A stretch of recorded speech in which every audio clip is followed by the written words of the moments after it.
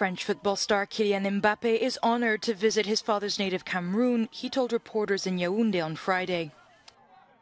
Mbappe, the star forward of Paris Saint-Germain and captain of the French national team, arrived in the country on Thursday for a trip devoted to charity work and a visit to his father's village.